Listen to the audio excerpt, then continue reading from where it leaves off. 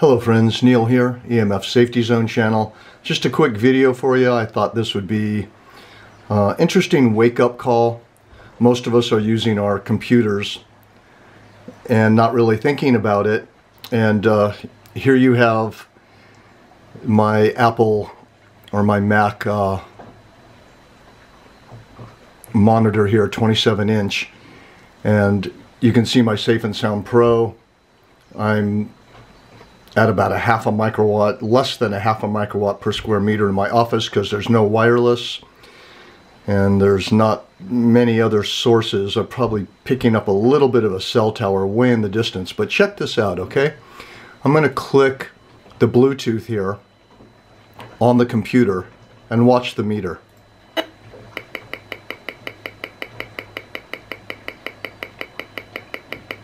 All right, so that's that's a Bluetooth signal, and most of us are working on the computer with that pounding through our head and body.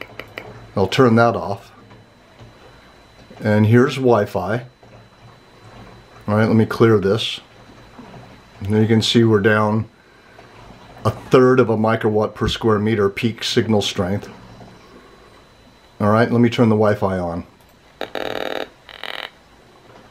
How's that?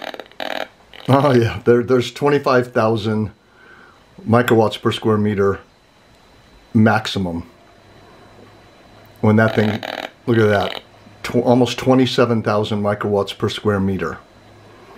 That is definitely levels that will damage the blood-brain barrier.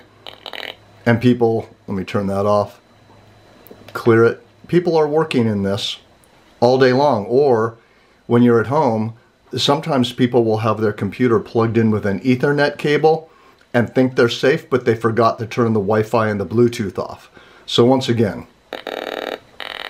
there's the Wi-Fi looking looking to connect with the Wi-Fi signal. Oh no my, my oh my battery's going down. All right well I think you got the idea. And uh, that's so funny. I'm not going to redo this video because uh, I think we got the subject covered. All right Thanks for watching.